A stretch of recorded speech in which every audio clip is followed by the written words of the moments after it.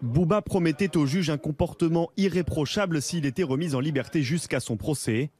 Mais ce matin, le voici de retour dans ses œuvres avec ce tweet. Quand je serai grand, je voudrais être Benalla ou moine pédophile. Dix ans pour une bagarre, c'est avec ou sans le streaming? Privé de portable en détention, Bouba a dicté ce tweet à sa manageuse depuis une cabine téléphonique de la prison de Fleury-Mérogis. Euh, ce tweet, il lui ressemble. C'est euh, à la fois de l'humour décalé et percutant. Euh, presque tout est dit sur ce qu'il ressent de la hiérarchie des gravités.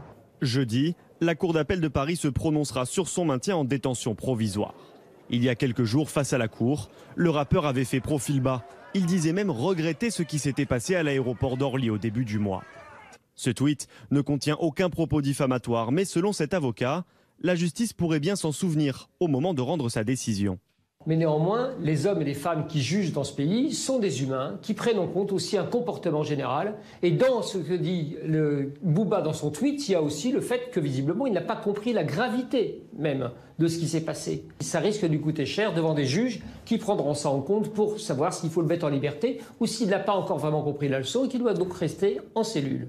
Ce tweet pourrait en revanche lui être reproché davantage lors de son procès le 6 septembre prochain. Il risque 10 ans de prison et 100 000 euros d'amende.